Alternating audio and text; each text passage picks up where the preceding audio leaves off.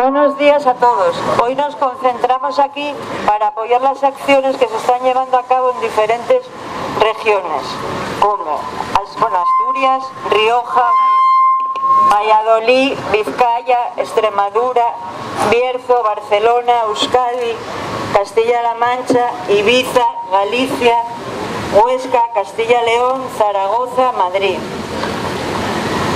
A salir el comunicado estatal por el derecho a la salud y a la vida. La salud de los cientos de miles de personas afectadas por el virus de la hepatitis C sufren hoy en día dos amenazas. Una, la del virus que va corroyendo nuestro hígado, aunque existan medicamentos para curarnos. Medicamentos que cada vez son mejores, más eficaces, con apenas efectos secundarios. Medicamentos que podrían curarnos pero que no nos dan. Y esa es la otra amenaza a la que nos enfrentamos las afectadas y afectados por hepatitis C y la sociedad en su conjunto. Una amenaza para nuestra salud peor que la de los virus. Los administradores de un sistema que nos habla más de economía que de salud. Y las empresas farmacéuticas que comercian y especulan con nuestra vida. Para nuestros administradores el presupuesto está por delante de nuestra salud. Para los laboratorios su beneficio es lo único que importa. Pero para nosotras y nosotros la salud es lo primero. La nuestra y la del sistema público de sanidad porque, por el que hemos luchado una generación tras otra. La hepatitis C es un problema de salud, no de economía. Por eso su solución no pueden ser solo palabras y nada más que palabras. Hace falta que las declaraciones y los planes tengan un sustento que las haga realidad. Y eso se llama financiación. Sin financiación no hay solución, solo discurso y discurso vacío. Hace falta dinero urgentemente. Es mucho tiempo que llevamos esperando y el dinero necesario para terminar con un problema extraordinario debe contar con un presupuesto extraordinario. Hay que acabar con esta pandemia sin que ello suponga la reducción de las prestaciones que el sistema público de salud en su conjunto debe cubrir. Necesitamos un plan urgente de financiación específico y un presupuesto extraordinario. No podemos, ni queremos, ni debemos basar la solución de nuestro problema en deducir la atención a otros colectivos de pacientes.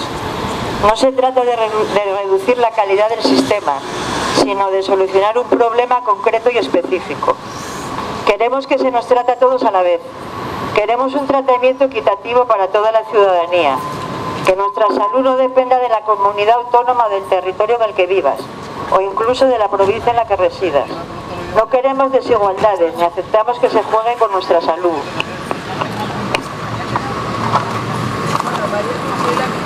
Queremos, queremos ver cómo se acaba de una vez con este problema que, que hoy nos afecta y para el que hay solución. Por eso hoy queremos todos juntos dejar claro que la hepatitis C es un problema de salud que nos afecta como personas y como sociedad y para cuya erradicación existen hoy en día los medicamentos necesarios que nos, que nos están dando.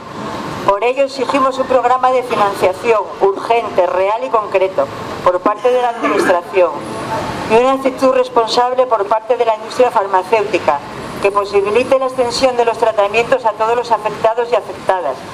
Demandamos además que esta extensión se haga de forma equitativa en todas las comunidades autónomas. Por eso reiteramos a nuestros gobernantes la necesidad de una financiación extraordinaria y equidad en su reparto para que la hepatitis C deje de ser nuestra pesadilla actual y sea tan solo recuerdo de algo con el que entre todos y todas hemos terminado. Por ello, las plataformas afectadas por la hepatitis C solicitan vuestra colaboración y participación. SOS Hepatitis C de Asturias queremos dar las gracias a los colectivos, Plataforma de Trabajadores Empresa en Yucha, Asociación de Pensionistas de Xixó, Pensionistas de CSI, Junta de Personal del Área Quinta, Comité Ciudadano Antisida. Bueno, si se me olvida alguien por ahí, también. Y si alguien quiere decir algo, el megáfono está abierto.